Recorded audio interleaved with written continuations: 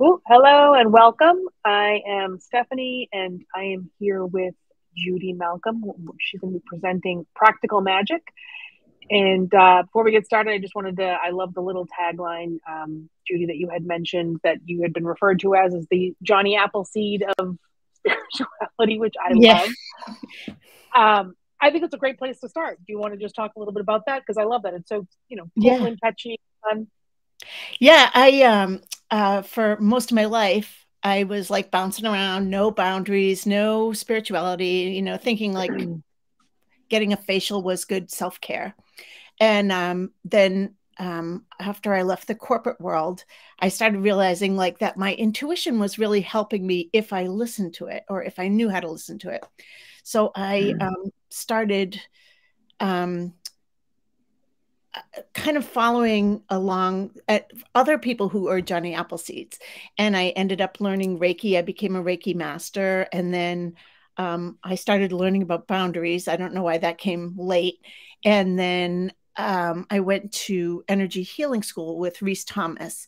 And Rhys um, spends a lot of time. I don't know if you've heard of Rhys Thomas mm-hmm. or the Rhys Thomas Institute. And he yep. spends a lot of time individually with you, trying to help you figure out who you are through your chakras and your archetypes. And he said to me, You that's your like your main archetype is you are a Johnny Appleseed of spirituality. Oh, so you, nice. Yeah, yeah. Mm. So um, and I know that because I had been doing that, but I didn't realize that's what I was doing. I own a um, Pilates and movement studio in Hopkinton, Mass. And I've mm. been doing it with my clients, but not realizing that that's what I was doing. They're um, mostly housewives who are brand spanking new to the spirituality world. And they, mm. um, you know, they like come in and go, what do I, what, do I smell something in here? Is that marijuana? Mm. No, that's sage. You know, we're just clearing out the old and in with the mm-hmm. new. Um, so they started asking me how I learned these things. And, you know, mm-hmm. you learn a little bit at a time, right? Drip, drip, drip.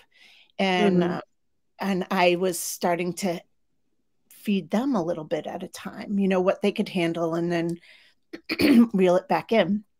So I decided to, there must be a lot more people who want to know a little bit about how to learn a little bit. So that's, that's how I got here today. And, um, great the best thing, you know, everybody says this when they leave the corporate world. Best thing to ever happen to me, leaving the corporate world. So it allowed oh, yeah. me, it allows me to actually listen to my um, my heart, and that's that's what we're going to talk about. Is like that's a I think it's a good place to kind of start your spirituality. Is like, um, well, we'll get there, but yeah. Okay. So I'm ready. Y'all can start the slides up if you're ready. Yep. Jump right in. All right, here we go. All right. And so I can move the slides ahead, right? Or Yeah, I mean you're controlling the screen. I'm just Oh.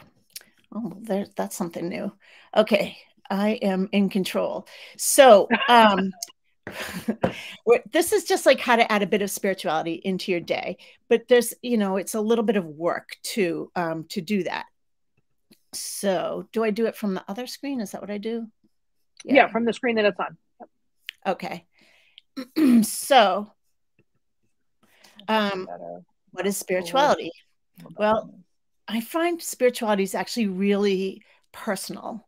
And how I define spirituality and how you define spirituality might be completely different. And um, they it might mean different things for uh, you and I, which doesn't make it right or wrong or anything. It's just how you are going to pursue it, pursue your, um, your uh, whatever.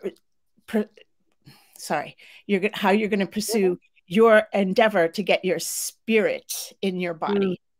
Mm-hmm. So, um, for me, I decide. I think my everyday uh, definition of spirituality is being in the moment, being present, mm-hmm. being in my body, which is being aware for me mm-hmm. and listening to my heart and intuition. Mm-hmm. Mind, body, spirit is you.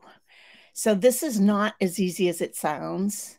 Um, and I don't know if you actually know a lot about doing this, but most of the time when we're trying to be in our body or be present, our brain is like, hey, you got to wash the dishes, but don't forget to add uh, paper towels to the list of things you need to buy. And oh, who's mm-hmm. picking up the kids after soccer? You know, and when are my parents coming to visit? So you need to quiet your brain. And the magic behind being present and in your body and quieting your brain is you have to distract that bugger that you call a brain because it's not going to stop. It's going to keep talking at you and to you.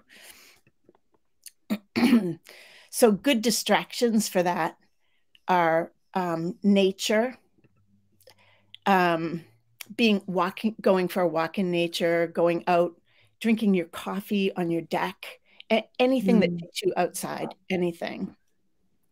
Um, some certain activities will um, can are good distractions for you like um probably stephanie you find when you box that's all you think about is boxing right you're not mm-hmm. thinking about anything else um for me like playing golf um puts me totally in the moment because i if i think of anything else i can't play well and then right. of course meditation is a good will help you learn to distract your brain but that's like everybody's least favorite thing to do um, well, I think a lot of it is because people think it's like, oh, you can't you have to empty your mind and think of nothing.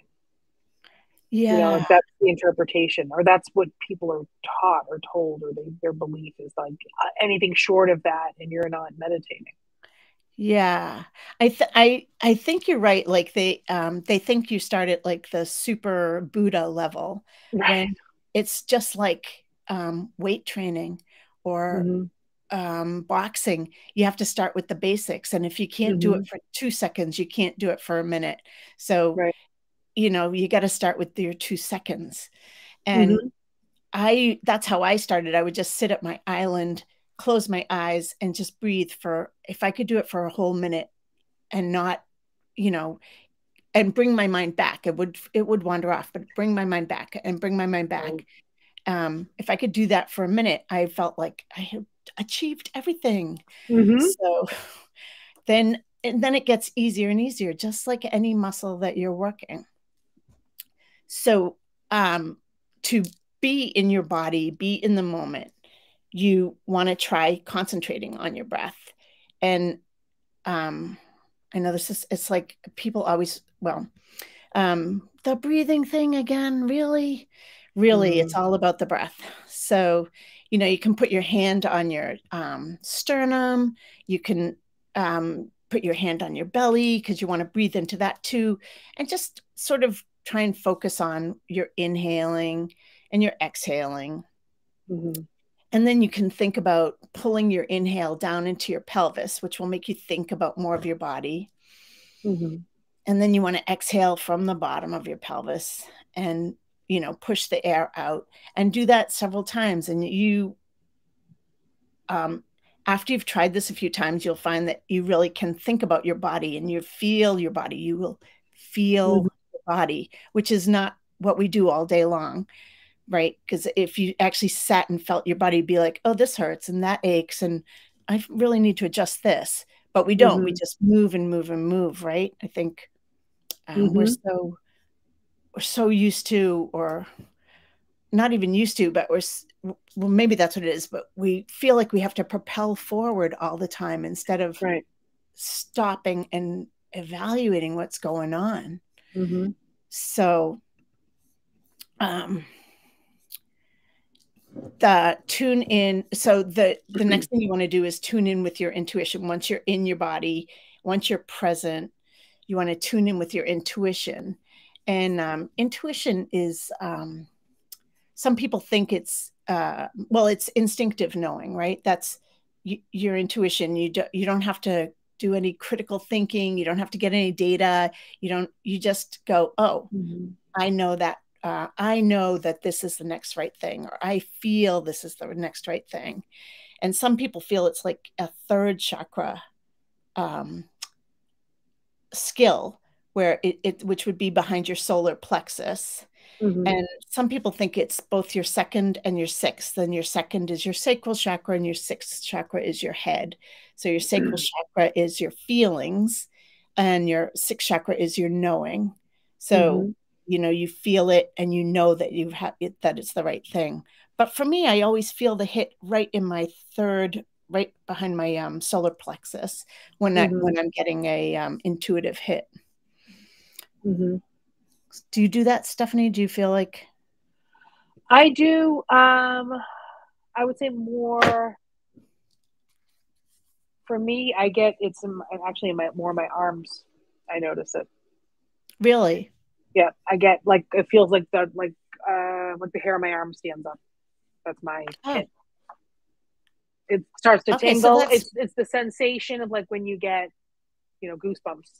I don't actually yeah. physically get them, but that's what it feels like. It feels like I have goosebumps, um, but I don't. It just is that that's the sensation. It's always right. a, an intuitive sort of like click of like, yes, that's it. that's, that's, awesome. I, I didn't, yeah. yeah, I've never heard anybody have that, but so that's just a really awesome other thing. You know, mm-hmm. it doesn't have to be any of these. It can be something else. Um, so um oh so for intuition so sometimes it's not quite that simple though right? Sometimes you have mm. to tune in to find it. So how do you do that? And so we're going to talk a little bit about muscle testing. I don't know if anybody knows about muscle testing on here. You probably some do some version of it for some things. Mm-hmm. and do you do any muscle testing? I have yeah. Yep. Okay so there's um I've done actually all of those. yeah. Um, uh, there's a gazillion ways to do it, mm. and these are um, just some examples where it's it, it your intuition is going to help you answer questions, um, mostly yes or no questions, uh, when you uh, with um, muscles. So mm. the first one, the okay sign, you're going to break the circle, and you you would make an okay sign. You can use any finger to thumb mm-hmm. um, that you want. And the other hand, you are going to use your finger here or a finger to break the circle. And mm-hmm. what you do is um, if the circle breaks, then it's a false or a negative or a no. And if the mm-hmm. circle doesn't break, it's a yes. So mm-hmm. you can, I'll test this. You can try this. Um, you know, make your circle, whichever one's most comfortable for you and you can mm-hmm. say my name is penelope and then see if it breaks yep. so it easily breaks for me and then you can make that circle again and say my name is whatever your name is and it doesn't want to break mm-hmm. so there's that um, there's another one that i kind of like the finger test where you put um, you can put your hand on your leg i'm going to put it on my other arm and you pick a finger up mm-hmm. i can't put it on my other arm of course because I need my hand. And you use the finger that's up to test. And you say, you know, my name is Penelope. And if it, you can push it down, mm-hmm. then that's false. And my name is Judy. And it doesn't go, doesn't move at all. And I encourage you to try these yourself because you will find that some of them work mm. for you and some of them don't work for you. And you really need to, um, you know, like any muscle, try it and practice mm. it and it will get better and better and better um, i think a lot of that is people i think sorry to interrupt but i think people will think they have to be perfect at it you know or be an expert at it before they even attempt it you know oh. part of it is you know what i'm saying where it's yeah. you just need to try it you have to try it just to see if you can do it and you'll you'll find the thing that works for you and then instead of saying like what's the right thing for me is you have to explore it right? you got to try right. it and figure out which one's going to be a good choice Right, right. I've tried all of these and I've settled in on um, the sway I, and others. Like there's a, a, one where you put your two fingers together. Where's mm-hmm. my and um, you they split apart yeah. or they don't. Um, there's a, there's a gazillion ways to do these. My favorite is the sway, and so that's oh, the one I practice the most. And I can feel it now sitting down. I don't even have to get. I can get like halfway through a question and I can tell which way I'm mm. going. Mm. And um, the it's this way is really simple. It's standing up, you would always want to try it standing up 1st Mm-hmm. And um, it's the same thing. I don't know if I can, you can actually see me, but it's the same thing. You'd stand up and you'd say, mm-hmm. "My name is Penelope," and my nose, I go backwards. My name is Judy. I come forward, mm-hmm. and um, that helps. Um, that helps me hone in on my intuition. Um, so, a couple of things about muscle testing, like we just said, you have to find the one that works for you or the one that works mm. in your situation at the moment. So, sometimes people use um, one test for when they're with their clients and one test, you know, like I sometimes use the sway when I'm with my clients so they don't see my hands doing things. And um, I use um, the circle sometimes um, if I feel like the sway is not working for me that day. And, and you know, mm-hmm. things like it may not always work for you. You just have to, you know, bear with it. It's the universe. Right. don't don't ask it the question in a yes and then ask again to get a no. So like don't say um you know, should I have chicken for dinner and get a, you know, if you get a no, don't say, oh, I shouldn't have dick- chicken today, you know. So, you know, honor and respect the first answer and ignore it if you think that it's not right, you know, but mm. don't keep asking because um, I feel like the universe gets a little bit, um, and you know, annoyed when you don't believe it the first time. Yeah.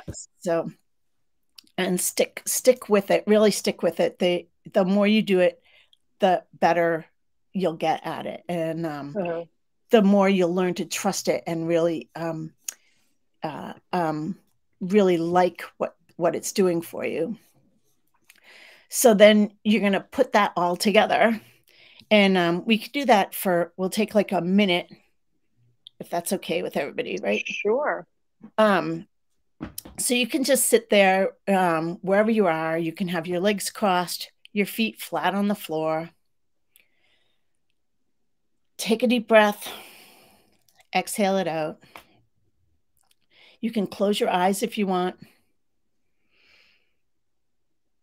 Put your hand on your chest if you want. Maybe one hand on your chest and one hand on your belly. Take the inhales through your nose. Exhale through your nose.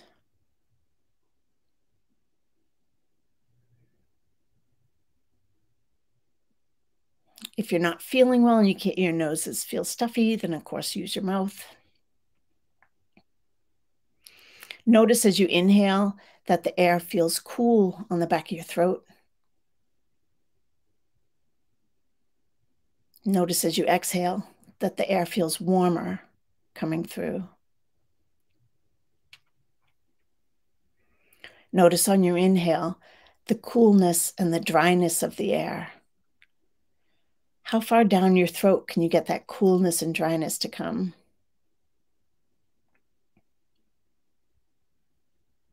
Notice on your exhale that the air is warmer and it's moister.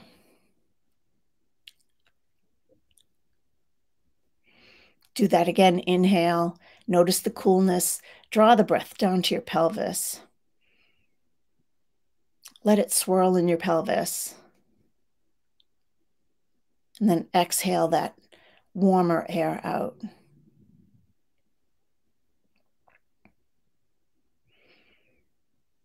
Inhale, draw the air down into your pelvis. Exhale, all that nice warm air out.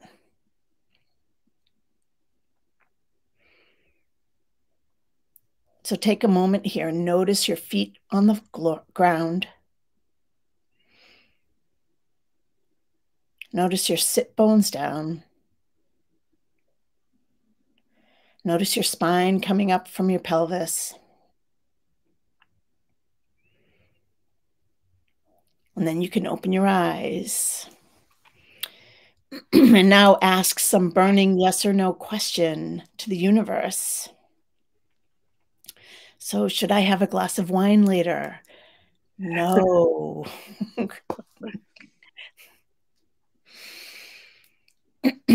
so, yeah, you probably want to start with yes or no questions so you can get clear answers. Mm-hmm.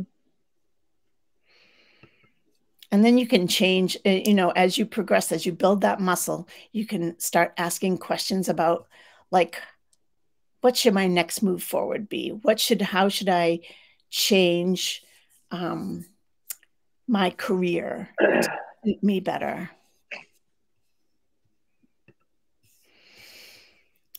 So I would encourage you to practice this at least once a day. The more you practice, the easier it gets. The more you'll learn to trust yourself. Mm-hmm.